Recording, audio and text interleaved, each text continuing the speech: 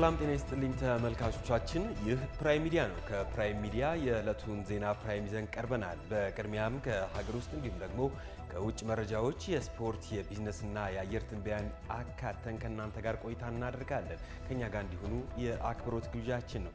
ዘላለም መሉ ዜናውን እየመራሁ ከእናንተ ጋር ቆይታ አደርጋለሁ። ጠቅላይ ሚኒስትር አብይ አህመድ ከፌዴራል ከፍተኛ የሥራ ኃላፊዎችና ክልል ፕሬዝዳንቶች ጋር በወቅታዊ ጉዳዮች ላይ መከሩ። የኢትዮጵያ ብሔራዊ ምርጫ ቦርድ ስድስተኛው ሀገራዊ ምርጫ ከግንቦት መጨረሻ እስከ ሰኔ አጋማሽ ባለው ጊዜ ውስጥ እንደሚካሄድ አስታወቀ። ሱዳን እና አሜሪካ ዳግም የዲፕሎማሲ ግንኙነታቸውን ለማደስ በዛሬው ዕለት ይፋዊ ስምምነት ያደርጋሉ ተብሎ ይጠበቃል። የአሜሪካ እጩ ፕሬዝዳንቶች የምርጫውን ውጤት ለመወሰን ትልቅ ስፍራ ባላት ፍሎሪዳ ግዛት የምረጡኝ ዘመቻቸውን አጠናክረው ቀጥለዋል። ጠቅላይ ሚኒስትር አብይ አህመድ ከፌዴራል ከፍተኛ የሥራ ኃላፊዎችና ከክልል ፕሬዝዳንቶች ጋር በወቅታዊ ጉዳዮች ላይ መወያየታቸውን ገልጸዋል። ጠቅላይ ሚኒስትሩ የሀገሪቱን የጸጥታ ጉዳይና ያጋጠሙ ሰው ሰራሽና የተፈጥሮ አደጋዎች ዋና የውይይት አጀንዳዎች መሆናቸውን በማኅበራዊ ትስስር ገጻቸው ጠቁመዋል። የኢትዮጵያ ብሔራዊ ምርጫ ቦርድ ስድስተኛውን ሀገራዊ ምርጫ ከግንቦት መጨረሻ እስከ ሰኔ አጋማሽ ባለው ጊዜ ውስጥ እንደሚካሄድ አስታወቀ። ቦርዱ ለስድስተኛው ሀገራዊ ምርጫ በሚከናወኑ ዋና ዋና ጉዳዮች ላይ ከሲቪክና ከመገናኛ ብዙሃን ባለሙያዎች ጋር መክሯል። በዚህ ጊዜም በጥር ወር 2013 ዓ.ም ለስድስተኛው ሀገራዊ ምርጫ የመራጮች ምዝገባ እንደሚያካሄድ ያሳወቀው ቦርዱ ከጥር የመጀመሪያው ሳምንት እስከ የካቲት አጋማሽ ደግሞ የእጩዎች ምዝገባ እንዲሁም ከየካቲት አጋማሽ ጀምሮ የምረጡኝ እንቅስቃሴ ይጀምራልም ብለዋል። በምክክር መድረኩ ላይ የምርጫ ጊዜ ሰሌዳና በምርጫ ሂደት ስለሚወሰዱ የኮቪድ-19 ጥንቃቄ እርምጃዎችን በተመለከተ ከሲቪክ ማህበራትና ከመገናኛ ብዙሃን አባላት ጋር በመወያየት ግብአት ይወስዳልም ተብሏል። በተጨማሪም ከሲቪክ ማህበራትና መገናኛ ብዙሃን የሚመለከቱ ዋና ዋና የምርጫ እንቅስቃሴዎችና ዝግጅቶች ላይ ውይይት እንደሚደረግም ነው የገለጸው።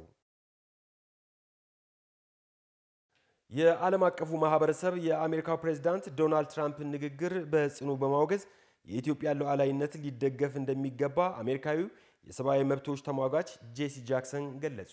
የሲቪክ መብቶች ተቋም Rainbow PUSH Coalition መስራችና የሰብአዊ መብት ተሟጋች ጄሲ ጃክሰን ፕሬዚዳንት ዶናልድ ትራምፕ በታላቁ የኢትዮጵያ ህዳሴ ግድብ ላይ ያደረጉትን ንግግር አስመልክቶ መግለጫም አውጥተዋል። በዚህም ጄሲ ጃክሰን ፕሬዚዳንት ዶናልድ ትራምፕ ግብፅ ግድቡን ልታፈነዳው ትችላለች በማለት ያደረጉት ንግግር ፍጹም ትክክል ያልሆነና ዓለም ሊያወግዘው የሚገባም ነው ብለዋል። ትራምፕ በታላቁ የኢትዮጵያ ህዳሴ ግድብ ጉዳይ ከኢትዮጵያ ይልቅ ሙሉ ድጋፋቸውን ለግብፅ እንደሆነ ሁላችንም የምናውቀው ጉዳይ ነው። ይህንንም ለኢትዮጵያ የሚደረገውን እርዳታ በማቋረጥና የዓለም ባንክ በተመሳሳይ ይህን እንዲያደርግ ተጽዕኖ በማሳደር አሳይተዋልም ብለዋል ጄሲ ጃክሰን። መሪ አለመግባባቶች ሲፈጠሩ በጦርነት ሳይሆን በሰላማዊ ውይይት እንዲፈቱ ማበረታታት እንዳለበትም አስገንዝበዋል። ታላቁ የኢትዮጵያ ህዳሴ ግድብን ከደን ለመከላከልና የአባይ ተፋሰስን በቆላ ቀርከሃ ለማልማት ተቋማት ስምምነት ተፈራርመዋል። ስምምነቱን የተፈራረሙት የአካባቢ ደንና አየር ንብረት ለውጥ ኮሚሽን፣ የአካባቢና ደን ምርምር ኢንስቲትዩት፣ የደብረ ማርቆስ ዩኒቨርሲቲና ሰላሌ ዩኒቨርሲቲ ናቸው። በመጀመሪያ ዙር በቆላ ቀርከሃ ለማልማት የታሰበው የደጀንና የጎሃ ጽዮን የአባይ ተፋሰስ ቆላማ አካባቢዎችንም ተብሏል። የአካባቢ ደን ምርምር ኢንስቲትዩትም የቆላ ቀርከሃ ዛፍ ችግኞችን እያባዛ መሆኑንም ገልጿል። እስካሁንም ድረስ 10 ሺህ ችግኞችን ማባዛቱን ኢንስቲትዩቱ ጠቅሶ በቀጣይም 500 ሺህ ለማባዛት ማቀዱንም ጠቁሟል። የቆላ ቀርከሃ የአባይ ተፋሰስ በደለል እንዳይሞላና ስነ ምህዳሩ እንዲያገግም ከማድረግ ባለፈ ለአካባቢው ኢኮኖሚያዊ ጠቀሜታ እንደሚኖረው ተገልጿል። ኢቢሲ ነው የዘገበው። በሀገር አቀፍ ደረጃ የተሻለ ከተማ ለተሻለ ሕይወት በሚል መሪ ቃል የከተሞች ፎረም የመመስረቻ ስነ ስርዓት ተካሄደ። ፎረሙ የከተማ ከንቲባዎች ተገናኝተው በወቅታዊ የከተሞች የትኩረት አጀንዳ ላይ ጽሑፍ ቀርቦ የሚወያዩበት፣ የተሻለ አሰራር ካላቸው ከንቲባዎች ልምድ የሚለዋወጡበት፣ ያጋጠማቸው ፈተና ካለም መፍትሄ በጋራ የሚፈልጉበትና የተሻለ አፈጻጸም ላከናወኑ ከንቲባዎች እውቅና የሚሰጥበትም ነው ተብሏል። በተጨማሪም ሀገር በቀል የሆነ እውቀት እንዲጎለብት ማበረታታትና ከተሞች ከከተሞች ጋር የሚኖራቸውን ትብብርና ትስስር ማመቻቸት የፎረሙ አንዱ ዓላማ መሆኑን የከተማ ልማትና ኮንስትራክሽን ሚኒስቴር ገልጿል። ውድ ተመልካቾቻችን እየተከታተላችሁ የምትገኙት ከፕራይም ሚዲያ ወደ እናንተ የሚደርሰው ዜና ፕራይማችንን ነው። የኢትዮጵያ ንግድ ባንክ ለገበታ ለሀገር ፕሮጀክት 1.1 ቢሊዮን ብር አበረከተ።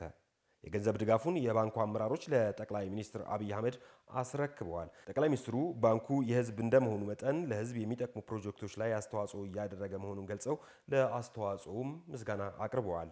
ከተደረገው ድጋፍ 571 ሚሊዮን ብሩ ከባንኩ ሰራተኞች፣ የቦርድ አባላትና ማኔጅመንት የተሰበሰበ ሲሆን ቀሪውን ባንኩ ወጪ ማድረጉ ተገልጿል። የዛሬውን ጨምሮ የፋይናንስ ዘርፉ እስካሁን በአጠቃላይ ለገበታ ለሀገር ፕሮጀክት ግንባታ የ1.5 ቢሊዮን ብር ድጋፍ ማድረጉም ታውቋል። ቀሪ የቢዝነስ መረጃዎችና የአየር ትንበያን ተከታትለን እንመለስ።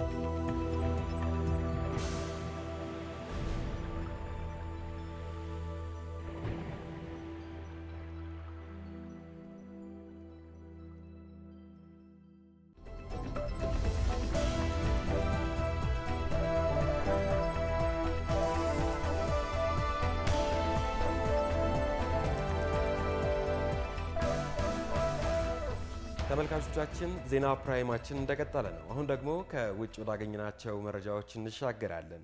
የሆላንድ መንግስት በህገ ወጥ መንገድ ግብር ሰብስበዋል በማለት በሆላንድ የኤርትራ ቆንጽላ ጽሕፈት ቤት ኃላፊን አገደ። እገዳው በሆላንድ የሚገኙ ትውልደ ኤርትራውያን ባቀረቡት አቤቱታ መሰረት የተደረገ ነውም ተብሏል። ኤምባሲው ትውልደ ኤርትራውያንን በማስፈራራትና በማስገደድ ግብር ሲያስከፍል መቆየቱም ተሰምቷል። በዚህም የሆላንድ መንግስት ኤምባሲው ከድርጊቱ እንዲቆጠብ ቢያሳስብም ስላልተቆጠበ እርምጃ ለመውሰድ ተገደዋል መባሉን ቢቢሲ በዘገባው አስፍሯል። ከሁለት ዓመታት በፊት በሆላንድ የሚገኙ የኤርትራውያን ቆንጽላ ትውልደ ኤርትራውያን የዲያስፖራ ግብር በማለት ከገቢያቸው ሁለት በመቶ እንዲከፍሉ ማስገደዱን ዘገባውም አስታውሷል። ሱዳንና አሜሪካ ዳግም የዲፕሎማሲ ግንኙነታቸውን ለማደስ በዛሬው ዕለት ይፋ ስምምነት ያደርጋሉ ተብሎ ይጠበቃል። ሁለቱ ሀገሮች በፈረንጆቹ 1998 በኬንያና በታንዛኒያ የአሜሪካ ኤምባሲ ላይ የአሸባሪዎች ጥቃት ከደረሰ በኋላ ሱዳን ለጥቃቱ ድጋፍ አድርጋለች በሚል ግንኙነታቸውን ሻክሮም ቆይተዋል። ሱዳን ከእስራኤልና ከአሜሪካ ጋር ያላትን ግንኙነት ወደ መደበኛው ለመመለስ ሶስቱ ሀገራት መስማማታቸውን በተደጋጋሚ ሲገልጹ ቆይተዋል። ይህንንም ተከትሎ አሜሪካ ሱዳን ሽብርተኝነትን ከሚደግፉ ሀገራት ዝርዝር ውስጥ እንደምታስወጣት የአሜሪካው ፕሬዝዳንት ዶናልድ ትራምፕ አስታውቀዋል። የአፍሪካ የበሽታ መቆጣጠሪያና መከላከያ ማዕከል ሀገራት ለሁለተኛ ዙር የኮሮና ቫይረስ ወረርሽኝ እንዲዘጋጁ ጥሪ አቀረበ። በአህጉሪቷ በሐምሌ ወር ጨምሮ የነበረው የኮሮና ቫይረስ ወረርሽኝ እየቀነሰ መሄዱ የገለጸው ማዕከሉ በአሁኑ ወቅት ግን በአንዳንድ የአፍሪካ ሀገራት የቫይረሱ ስርጭት ዳግም እያገረሸ መሆኑንም አመላክቷል። ወረርሽኙን ለመከላከል ሀገራት በቫይረሱ መከላከል ስራ ያላቸውን አቅም እንዲያሳድጉም ጠይቋል። በአፍሪካ እስካሁን 1 ሚሊዮን 7 ሺህ በላይ ሰዎች በቫይረሱ ሲያዙ ከ42 ሺህ የሚልቁ ደግሞ ሕይወታቸውን እንዳጡ የማዕከሉ መረጃ ያመለክታል። ሲጂቲኤን ነው የዜናው ምንጭ። የአሜሪካን እጩ ፕሬዝዳንቶች የምርጫውን ውጤት ለመወሰን ትልቅ ስፍራ ባላት ፍሎሪዳ ግዛት የምረጡኝ ዘመቻቸውን አጠናክረው ቀጥለዋል። ፍሎሪዳ ሰማያዊ ከሆነች የአሜሪካ ፕሬዝዳንት መሆኔን ታረጋግጣላችሁ ሲሉ የዲሞክራቲክ እጩ ጆ ባይደን ለደጋፊዎቻቸው ተናግረዋል። የኢኮኖሚ ጉዳዮች ላይ ያተኮሩት ዶናልድ ትራምፕ ጆ ባይደን ካሸነፈ እንቅስቃሴን ገድቦ ቤት ውስጥ ይቆልፍባቸዋል ሲሉ ባይደን በኮሮና ቫይረስ ላይ ያላቸውን ስትራቴጂም አጣጥለዋል። የፖለቲካ ተንታኞች እንደሚሉት ፕሬዚዳንት ትራምፕ በዘንድሮ ምርጫ በፍሎሪዳ የሚሸነፉ ከሆነ ዳግም የመመረጥ እድላቸው የጠበበ ይሆናልም እያሉ ነው። በአሜሪካ ምርጫ የምርጫው ቀን ከመድረሱ በፊት 81 ሚሊዮን አሜሪካውያን ድምፃቸውን የሰጡ ሲሆን በቅድመ ምርጫው ጆ ባይደን 52 በመቶ ድጋፍ ሲያገኙ ተፎካካሪያቸው ዶናልድ ትራምፕ ግን 42 በመቶ ብቻ ነው ድጋፍ ያገኙት። 240 ሚሊዮን አሜሪካውያን በዘንድሮ ምርጫ ላይ ይሳተፋሉም ተብሎ ይጠበቃል። ቢቢሲ ነው የዘገባው ምንጭ።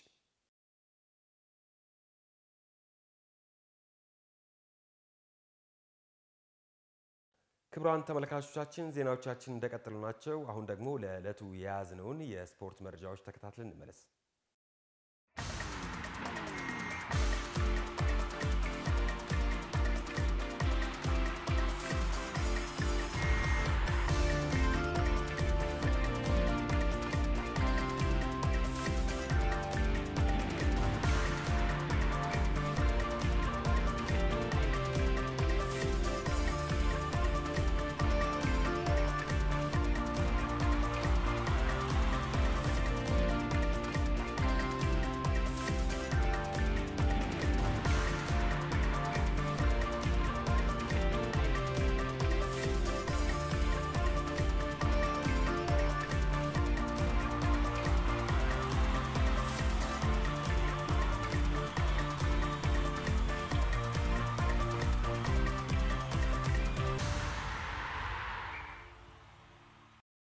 ውድ ተመልካቾቻችን ለዛሬ ያሰናዳናቸው ዜና ፕራይም እኚህን ይመስላሉ። ከቀሪ የፕራይም ሚዲያ ዝግጅቶች ጋር መልካም ቆይታ። እስካሁን ዜናውን ስመራ የነበርኩት ዘላለም መሉ ከመላው የስቱዲዮና የስርጭት ክፍል ባለሙያዎች ጋር አብሬ በመሆን ነው። ጤና ይስጥልኝ።